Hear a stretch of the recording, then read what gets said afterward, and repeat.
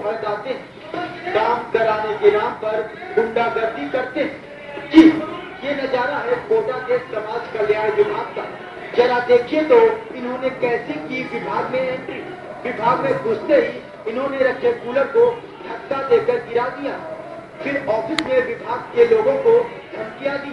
इतना ही नहीं, महिला कर्मियों से अभद्र भाषा का इस्तेमाल करते हुए बदसलूकी की।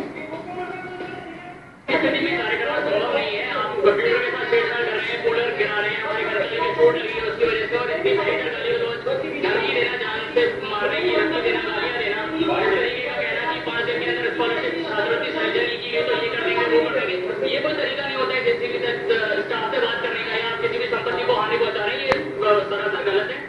गिरिराज मीणा बार बार छात्रों के हित की बात करते रहते हैं लेकिन छात्रों के नाम पर इनके साथ कुछ ही छात्र थे। इतना करने के बाद भी इन्होंने विभाग में ताला लगवाने की धमकी दे डाली। समाज कल्याण विभाग पर पिछले काफ़ी दिनों से एस टी के छात्र आए दिन चक्कर लगा रहे हैं। यहाँ पर अधिकारियों से मिलते हैं अधिकारी संतुष्ट जवाब नहीं दे पाते अधिकारी बाबू के पास गए था बाबू अधिकारी के पास गए था इसी गर्मी में छात्र दूर दूर से आते हैं छात्र छात्राएँ उनकी छात्रवृत्ति में